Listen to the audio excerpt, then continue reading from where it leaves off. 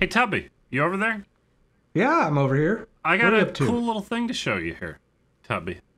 What do you got to show me? From, uh, I should look at his name. This is Adam the Machinist. He has some fantastic videos up here on YouTube. But What this one Adam was the do? first one that caught my eye. He made high resolution precision machinist jacks out of a couple of off the shelf nuts and bolts and things and some 3D printed parts.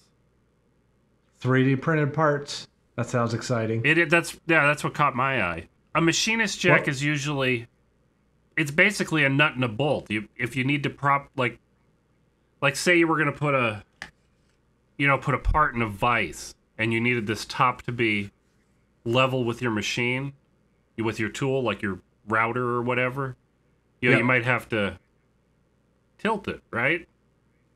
So you might prop up this end that doesn't have any support and you would turn your screw down here to you know very much like on your 3D printer, you know when you screw the four corners to Yep. to tram it up. To level the bed. Yeah.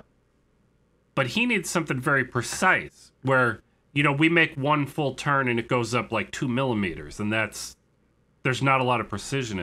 And I thought this was fantastic because maybe because I'm not a machinist and I don't understand any of this stuff. And I can see it. Do you see it there, Tubby? I, I see it there. he has two threaded parts. The top thread is metric. Well, I, these could be backwards, but it doesn't matter. One of the threads is metric and the other one is American. So they don't match. So when you when you turn it one way, the American tightens and the metric loosens Okay. and the other way around. So one is uh, and they they don't line up. So one is always chasing the other. So one full rotation doesn't give you a full turn of the screw. It gives you the difference between the top screw and the bottom screw.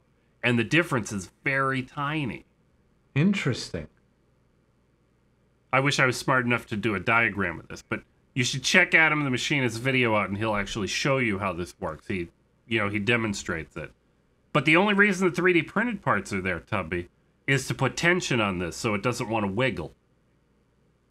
You know, in the- you know when you put a screw in loose, it has some play Yeah. to it. This takes up all that play. It just pulls them together. But I've been watching some of his videos. He has some fantastic information. His video, his audio and video quality keep improving. He seems to be pretty new here at YouTube, but he's doing a good job. Adam the Machinist. He's up at almost 9,000 subscribers. Hopefully, we get him up to 10,000.